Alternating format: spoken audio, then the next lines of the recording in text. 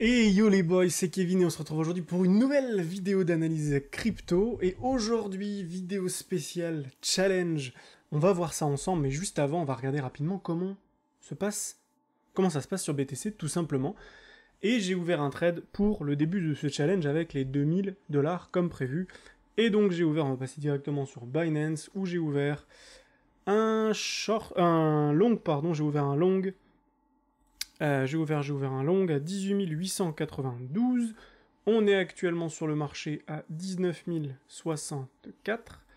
Donc pour l'instant le trade part correctement. Alors pourquoi j'ai pris ce trade? Alors déjà il faut comprendre plusieurs informations. Déjà la première chose c'est qu'on est en pleine compression du cours. Ici on le voit très bien avec ici un cours qui est en train de se compresser. Compresser violemment ici. Et donc là on attend de pouvoir en ressortir quelque part comme ceci et ici avec une, soit une résolution haussière, soit une résolution baissière. Alors du coup, pourquoi est-ce que j'ai pris un long? Alors déjà, première raison, je viens de démarrer le challenge, donc il faut bien que je sois actif et que je mette en place certaines choses. Et donc je tente certaines choses. Donc là, ce que j'ai fait, c'est que j'ai zoomé, et j'ai zoomé pour voir ce qui se passait en 4 heures, ce qui se passait en 1 heure, etc. etc. Et en fait, ce qui s'est passé, c'est que là, euh, on va regarder ça rapidement, mais en fait, ce qui s'est passé, c'est qu'ici, euh, on était en train de descendre sur cette heure là. Et en fait, du coup, ça m'a intéressé de regarder parce que j'ai vu qu'on était en train de casser ces plus bas ici. Euh, donc ça m'a intéressé en fait de voir sur des time frames plus courtes comment ça se comportait. Donc je me suis mis en 15 minutes. Et en fait, je me suis rendu compte ici qu'on était en train de se euh, frotter à une résistance ici. et donc en fait, on est en train de taper là-dedans.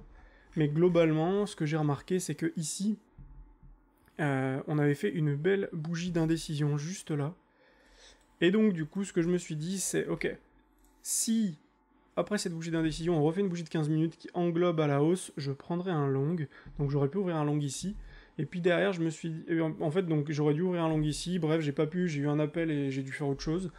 Euh, bref, j'ai attendu, du coup, j'ai ouvert le long juste ici à la clôture de la prochaine bougie. Donc j'ai attendu que la prochaine bougie se clôture et j'ai pris un long à cet endroit-là. Et du coup, ce que j'ai fait, c'est que j'ai pris un long. Donc, ici, j'ai mis mon stop juste en dessous de cette mèche. Et là, pour l'instant, on laisse partir le trade. Alors, ce qui se passe actuellement, c'est que pour l'instant, on est en train, on le voit, sur ce trade, de buter sur ce niveau. Et oui, parce que si on casse ce niveau, ici, ça pourra faire quelque chose d'intéressant. Et ici, pour l'instant, on est venu juste chasser au-dessus de ces points et donc, ce qui n'est pas très bon signe pour un long, pourquoi? Parce que ça veut dire qu'on est tout simplement en train ici de venir chasser tous les stops qui étaient au-dessus de ce niveau. Globalement, pour vous expliquer les choses, si jamais la smart money a envie d'aller plus bas, donc globalement envie d'aller là-bas, le problème c'est que tous ceux qui sont ici ont accumulé des shorts. Tous ceux qui ont accumulé des shorts ici, donc ont pris des, des positions vers le bas, qui ont misé à la baisse, on misait à la baisse en se disant si jamais on revient au-dessus des points les plus hauts donc de cette mèche ici et de cette mèche là, je sors mon long, mon short. Du coup ce qui se passe c'est que là en début de séance on est venu chasser au-dessus pour dégager tout le monde et que là à nouveau on est en train de faire une grosse bougie de ravalement baissière en 15 minutes et donc on est en train de repartir complètement vers le bas. Donc si c'est le cas, on clôturera notre position. Si on clôture ici par exemple euh, ou ici peu importe, on prendra 0,66%, donc pas beaucoup, mais ça nous fera prendre un petit profit tout de même. On attend de voir dans 3 minutes ce qui se passe. Euh, ce qu'on peut faire dans tous les cas ici pour se rassurer, c'est mettre notre top à break-even, c'est-à-dire à 18 892. On est rentré à combien? À 18 892, donc on va mettre un stop pareil. Euh, on va mettre un stop à 18 893. 18 893. hop, voilà. Et ici, on va mettre... Euh, ah mince, ok, j'ai laissé ça. Euh, open, on va supprimer ça. Et du coup ici, on va mettre la totalité de ce que l'on a ici. Et on va... Euh, on va mettre un stop loss juste là. Et comme ça, si jamais le marché redescend, eh bien on n'aura rien gagné, rien perdu. Donc là maintenant, c'est juste ce qu'on va attendre de voir ce qui se passe sur le marché. Euh, pour l'instant, il se passe pas grand chose à vrai dire, donc c'est juste la petite chose que je voulais vous montrer ici que je suis en train de prendre. Globalement, en 15 minutes, on voit qu'on est venu. On avait un genre de range ici qu'on est venu casser vers le bas. On a tout réintégré à la hausse, on est venu rechasser en haut de ce canal, et pour l'instant on est rejeté une nouvelle fois. Donc à voir ce qui se passe dans les prochaines minutes. Soit on va euh, être rejeté et du coup on va aller chercher plus loin en ayant dégagé tout le monde ici. Soit euh, bah, on va simplement faire ceci et continuer de monter. Maintenant, ce qu'on peut voir également, c'est que sur le euh, S&P 500, on vient d'ouvrir. On vient d'ouvrir tout simplement et il se passe pas grand chose. La seule chose qu'on peut voir, c'est une grosse bougie de ravalement haussière sur le S&P 500. Euh, mais c'est tout, et pour l'instant on est toujours dans un marché qui est en train de latéraliser, où il se passe pas grand chose, donc pas grand chose à dire malheureusement. Enfin, on pourrait ajouter également avec le S&P 500, S&P 500 hyper, le dollar hyper intéressant, le dollar qui est venu chasser également juste au-dessus de cette mèche. On est venu chasser, on s'est fait rejeter. Et donc pour l'instant, on est vraiment dans une phase d'attente. Pourquoi dans une phase d'attente? Puisque d'un côté, on a le dollar qui est venu chasser en longue, qui est venu chasser euh, tous les shorts pour aller potentiellement plus bas. Mais pour l'instant, on temporise. Mais le problème, en fait, c'est que sur BTC, on a fait la même chose. On a fait la même chose. Alors oui, on est allé chasser plus bas pour dégager tous les longs et ensuite remonter. Mais pour l'instant, on est bloqué par cette résistance. Ce point ici qui fait office de résistance nous rejette encore une fois plutôt violemment en 15 minutes, donc à voir ce qui va se passer en une heure, etc. Mais pour l'instant c'est un simple rejet, donc euh, à voir ce qui se passe, je pense qu'on va juste temporiser. Ce que je voulais vous montrer également, c'est que si on se met en daily, bah, on est effectivement du coup dans une phase de latéralisation du cours, et donc actuellement on fait juste des ici des points de plus en plus bas sur le MACD, euh, côté vert, et côté rouge, des points de moins en bas en bas. Donc on est en train de se compresser sur le MACD ici pour avoir une résolution dans les prochains jours, soit une résolution baissière où on va tout casser, soit une résolution haussière où on pourrait tout emporter avec nous pour faire un bel excès haussier. Euh, voilà pour l'instant. Ce que je vais vous montrer aussi, c'est qu'ici on avait aperçu en daily, euh, on peut voir ici un beau canal haussier hein, qu'on a cassé vers le bas, comme d'habitude, pullback, et on revient ici.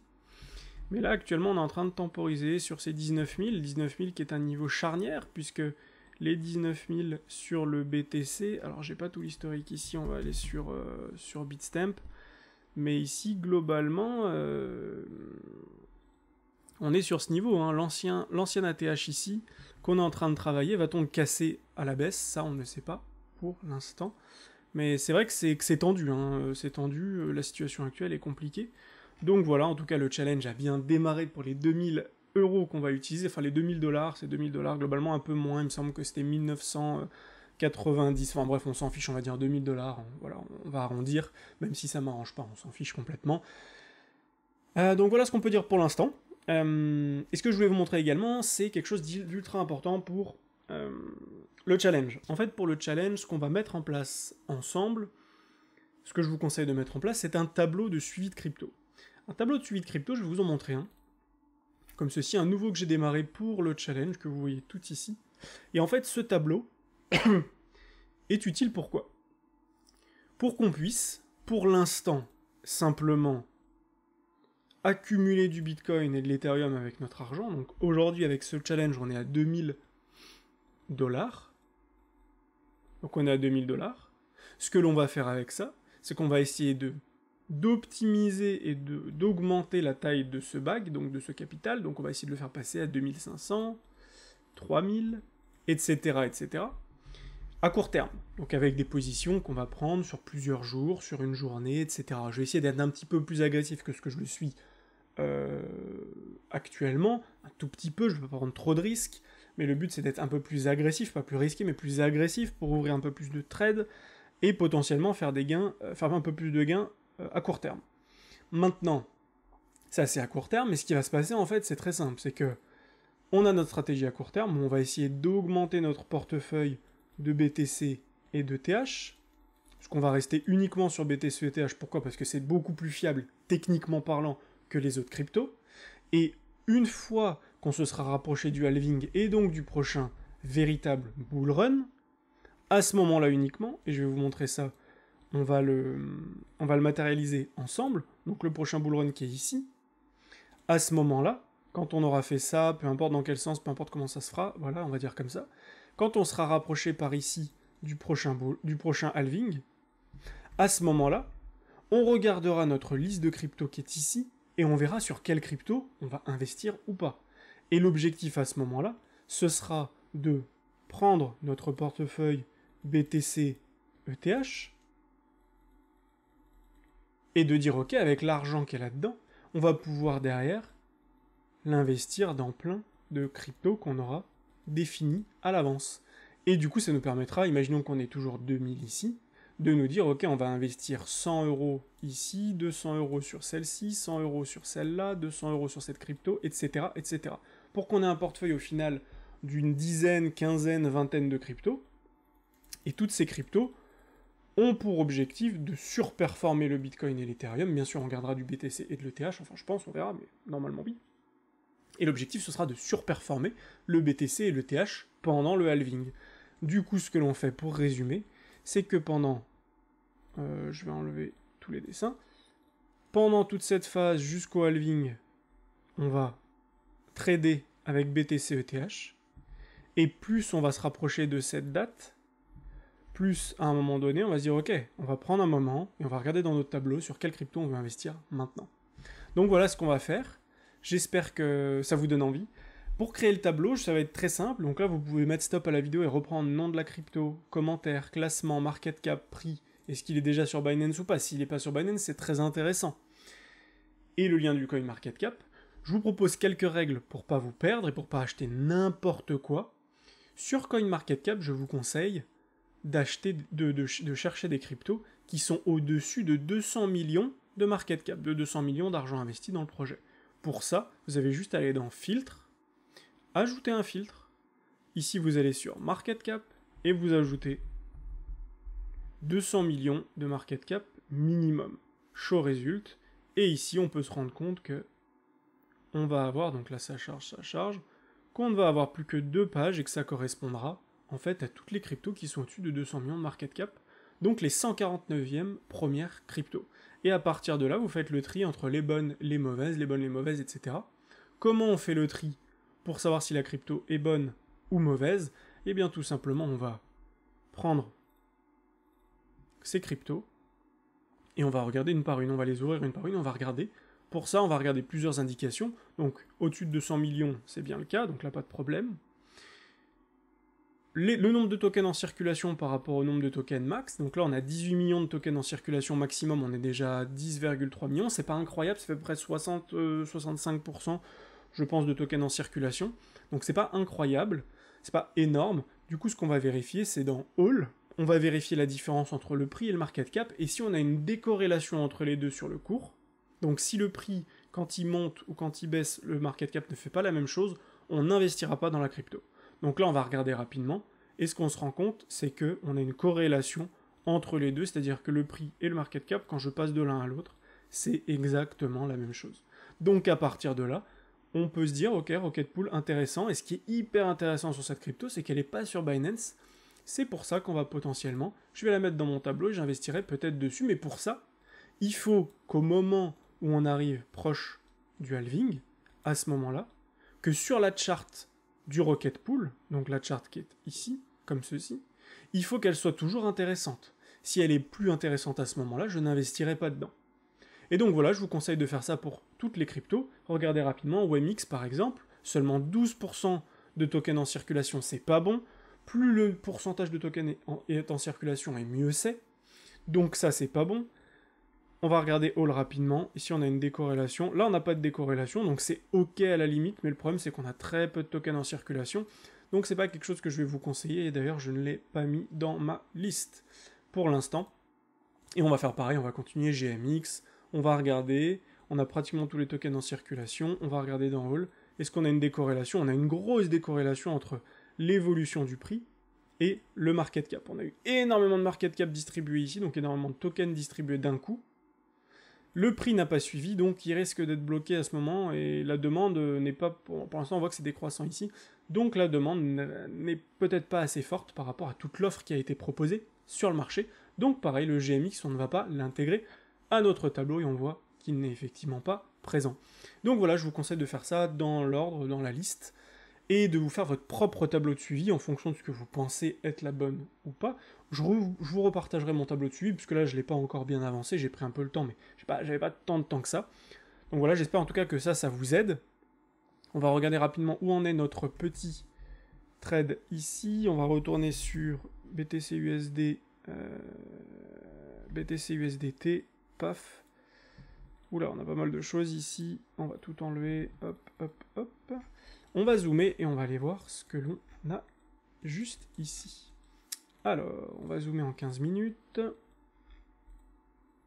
Ok, donc en 15 minutes, on voit qu'on a eu effectivement une nouvelle bougie de ravalement baissière ici, donc on aurait pu clôturer notre position juste là, mais du coup, vu qu'on essaye d'être un peu plus agressif, et que j'ai pris une position à 18 892, donc par ici, que j'avais mis mon stop ici, ce que j'ai fait, j'ai remonté mon stop à break-even, et donc on va laisser le trade ouvert pour l'instant, et si jamais on se fait prendre notre stop, c'est pas grave, on n'aura rien gagné, rien perdu.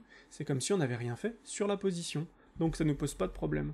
Donc là, on va juste attendre pour voir ce qui se passe. Hop, hop, et on laisse traîner ça pour l'instant comme ceci. Et on verra bien ce qui, ce qui se passe dans les prochaines heures et les prochains jours. De toute manière, je vous tiens informé. Si jamais il y a un short à prendre, je le prendrai, je vous tiendrai informé. Si jamais il y a un long à prendre, je vous tiendrai informé. Pour l'instant, on est sur Binance, d'ailleurs, je ne vous l'ai pas dit. Pour l'instant, on est sur Binance, mais je vais rapidement basculer, je pense, sur FTX euh, en procurant un autre compte. Euh, je vais voir comment je peux me débrouiller. Et une fois que c'est fait, eh ben, on pourra tout simplement euh, prendre des shorts et des longs. Pour l'instant, je peux prendre que du spot puisque je suis sur Binance et on peut plus faire de, de short sur Binance. Donc on attend de pouvoir avancer sur FTX, mais c'est pas grave. On verra, bien, euh, on verra bien comment ça avance dans les prochains jours. Là, on a ouvert un petit long intéressant que j'avais aperçu dans les mèches, que j'ai confirmé ici. Et pour l'instant, on attend de voir ce qui se passe. Donc voilà, j'espère que cette vidéo vous a plu. Elle était plutôt... Oh, quoique pas si rapide que ça, 16 minutes 50, 17 minutes de vidéo. Je vous laisse liker la vidéo, vous abonner si c'est pas déjà fait, me dire en commentaire qu'est-ce que vous avez pensé de ça. Est-ce que ça vous hype un petit peu ce challenge? En tout cas, moi je suis très content de le faire et de vous montrer justement comment je vais agir sur le marché pour euh, essayer de faire des gains tout en étant sécurisé, en faisant pas n'importe quoi, comme vous le voyez ici. J'avais pris globalement, quand j'ai ouvert mon, long, j'avais pris 1,3% de risque, et j'ai rapidement remonté mon stop à break-even pour ne plus rien risquer. Et donc là, actuellement, on risque plus rien, donc on n'a aucun stress à avoir. Si le cours monte, c'est très bien. S'il redescend à mon point d'entrée, j'aurais rien gagné, rien perdu. Donc voilà, c'était Kevin, je vous dis à lundi pour une prochaine vidéo, et je vous souhaite un bon week-end. Ciao, ciao